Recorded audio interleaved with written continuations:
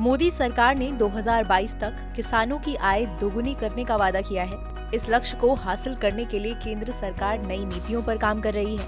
उन नीतियों में से एक है एग्री स्टैक लेकिन ये एग्री स्टैक क्या है? ये कैसे काम करेगा? किसानों को इससे क्या फ़ायदा होगा?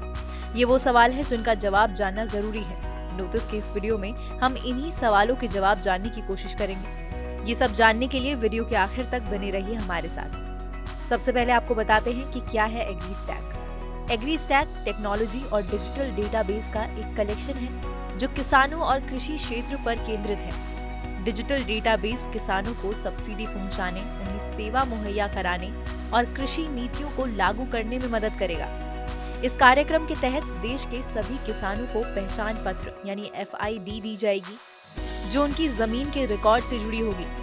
केंद्र का कहना है कि ये इकोसिस्टम किसानों की आय बढ़ाने और कृषि क्षेत्र की एफिशिएंसी बेहतर करने में मदद करेगा। इसका इस्तेमाल किसानों को सेवाओं की एंड टू एंड डिलीवरी के लिए किया जाएगा। एग्री स्टैक कैसे काम करेगा? डेटाबेस देश भर के किसानों की लैंड रिकॉर्ड्स को PM Kisan soil health card और प्रधानमंत्री फ़सल बीमा योजना जैसे कार्यक्रमों से संबंधित डेटा से जोड़ने का काम करेगा। डेटाबेस को तैयार करने में आधार कार्ड आधारित किसान योजनाओं जैसे पीएम किसान का इस्तेमाल किया जा रहा है। एग्री स्टैक के ज़रिए हर किसान को एक डिजिटल आईडी दी जाएगी, जिसे उनके आधार नंबर से जोड़ा जाएगा। एग्री स्टैक के डेटा में personal details, land profile, production details और फाइनेंशियल डिटेल्स जैसी जानकारियाँ शामिल हो सकती हैं।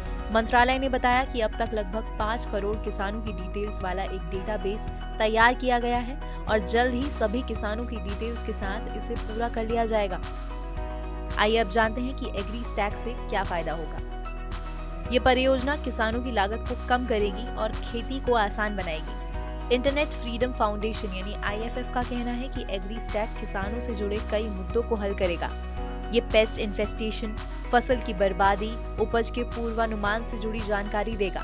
एग्री स्टैक किसानों को ये पता लगाने में मदद करेगा कि अपनी उपज को बेचना है या स्टोर करना है, या कब, कहाँ और किस कीमत पर उसे बेचना है। किसानों को सब्सिडी पहुँचाने में अभी भी कई जगहों पर दिक्कत आती है। केंद्र सरकार को फर्टिलाइज़र के सालाना डिमांड की जानकारी है, लेकिन इसकी जानकारी नहीं है कि एक किसान को असल में कितनी खाद की ज़रूरत होती है। आधार से जुड़े डेटाबेस बनाने के बाद जिला स्तर पर किसानों के खेतों के साइज़ और फ़सल के प्रकार के बारे में जानकारी मिलेगी। साथ ही सब्सिडी पहुँचाने में होने वाले भ्रष्टाचार को भी रोका जा सकेगा।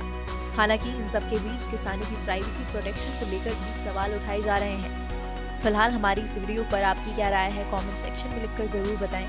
इस वीडियो को लाइक करें शेयर करें। देश और दुनिया की तमाम मुश्किल खबरों को आसान भाषा में समझने के लिए सब्सक्राइब करें हमारा डिजिटल चैनल नो दिस